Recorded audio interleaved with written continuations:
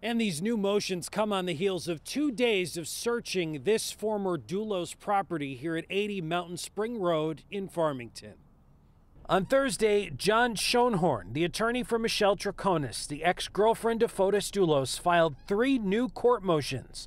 The first calls for an all out dismissal of the charges against Troconis, including conspiracy to commit murder. Troconis' attorney accused a state police detective of lying in the affidavit to make the court believe that 30 stops were made to dump bloody items along Albany Avenue in Hartford, when video allegedly shows only three stops were made.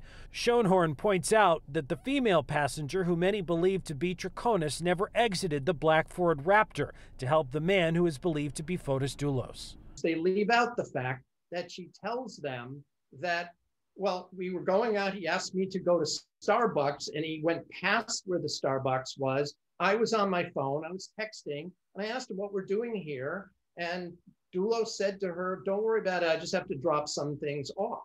Attorney Schoenhorn is asking for a hearing on the matter so he can present his evidence, which he says also includes proof that the state recklessly obtained information through unlawful searches and seizures.